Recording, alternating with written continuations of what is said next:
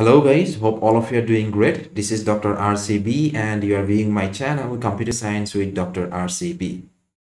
If you are someone who have decided that you people have to learn Python programming language, only thing is that if people are not getting the exact starting point, then this video series is certainly for you. You might have tried learning Python programming language from some of the existing video tutorials or maybe from a book or maybe from someone but for varieties of different reasons. Not necessarily that those materials were bad or something but for varieties of different reasons say it didn't work and still if people are surfing the net for say you know how to learn python python language for beginners uh, python from zero to hero and all these things then congratulations guys. This course is certainly for you. See to learn anything new there are two major steps you have to take. The first step is you people have to take a strong decision that no matter what no matter what it takes you will go through this process and you will learn the thing. And since you people are here then i'm very much certain that you people have already completed that step. Then what is the next step? The next step and you know this is the step uh, for many people this step actually you know holds them back from learning anything new. And what is that step? And that step is taking the first few steps. And that is the reason that i'm creating this series of videos.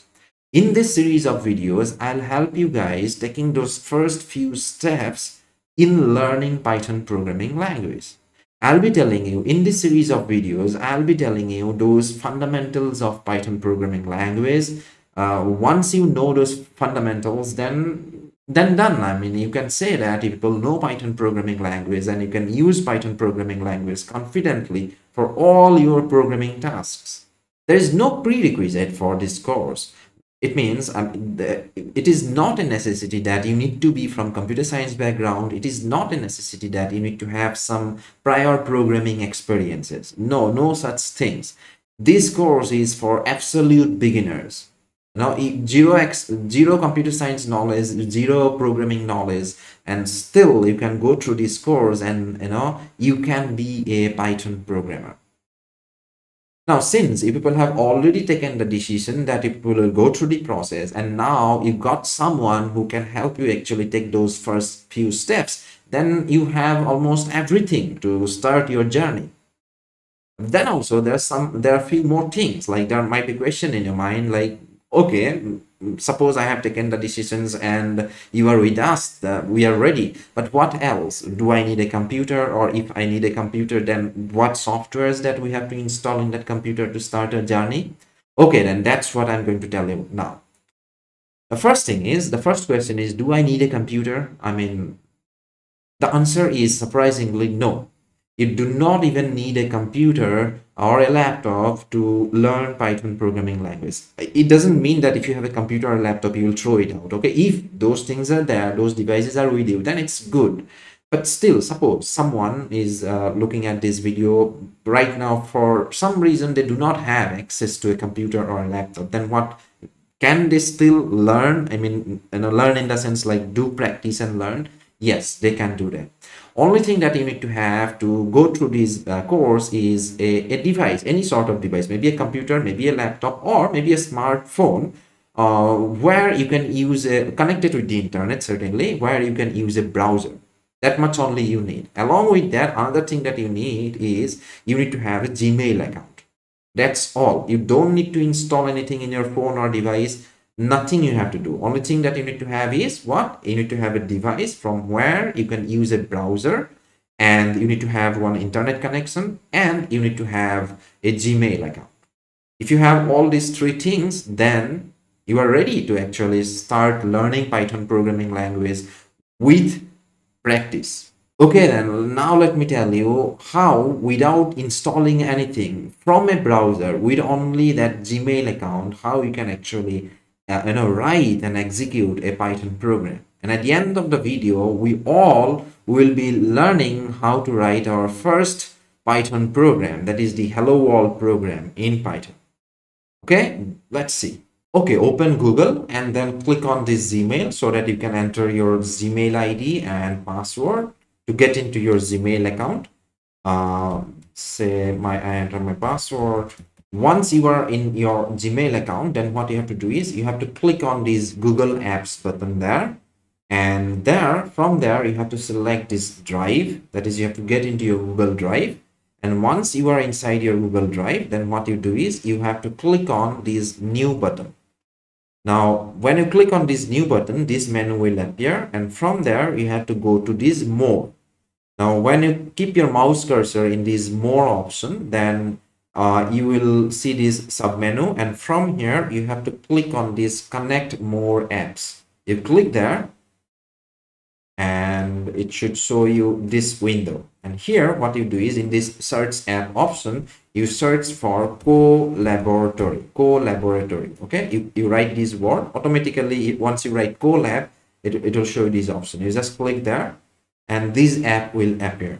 And you just click on that app and let me bring myself somewhere else. Yeah.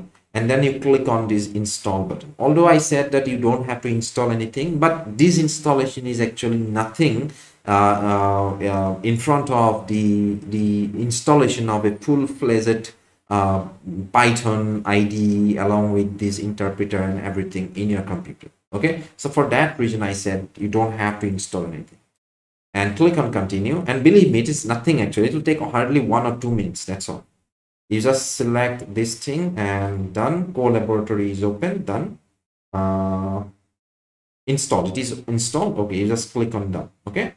Once your google colab is installed in your browser or in your gmail account then what you can do is now you can click on new and then you can click on uh, more this time you will find in this sub menu you will find another option called as google Colaboratory okay you just have to select that google Colaboratory option and done actually. Like whatever the page opens that will be the page where you'll be able to type your program and execute your python programs. Now see here ready. This is the page where actually you can type your programs and you can execute it so as I said, at the end of this video, we'll be writing our first Python program, that is the Hello World program. Now it is time to actually write that program.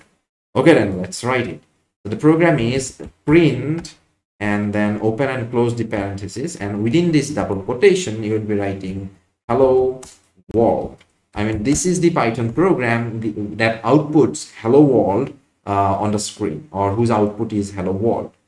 Okay, so some, now people have learned like how to write your first program. The next question is then how to execute the program. Executing is damn uh, executing is very straightforward in this case. You just have to click on this play button. Now see people, if you are executing this program for the first time, then you might see this connecting thing there. Okay. I mean, what happens is that whenever you're writing program in Google Colab, you are not actually writing or executing the program in your local computer. What you are basically doing is you're writing the program uh, in the in your computer but the thing is when you want to execute it you have to send that program to google's computer. And the program will be executed there. Some resources will be allocated to your program. Don't worry about all these details okay? I'll be telling you in the coming session. But then also i'm just trying to give you some hints uh, okay so that program will be sent to google's computer and it will be executed there and it will send the output back. And that's why initially first time when that is whenever you are executing the first program usually it shows you here connecting and it takes some time. Okay but the next program okay say for example let me write here another thing. Next again the same uh, or less the same program. Print okay congratulations okay? Now if i want to execute this program then it will not take me not that much of time. I click there immediately i get the output here. Okay guys? Okay guys then if people have actually seen how you can if people have actually learned how you can write your first python program.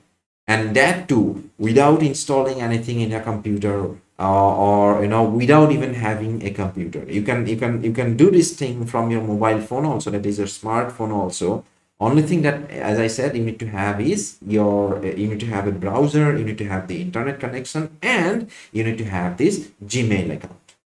Okay guys then that much only in this part of the video. If you like this video then please press the like button and also please subscribe the channel so that as soon as i upload my next videos related to this python programming you people get notified and also i mean that is not only for you. I don't want to show i don't want to tell you that no when you subscribe it is only good for you. Okay as well as i need subscribers so it is certainly it's a good thing uh, that uh, it will be a good thing for me also okay? But you do that thing only when like if you really think that you know this channel is for you and this playlist for is for you or this video series is for you. Okay guys then see you with some new content in the next video. Till then have a nice day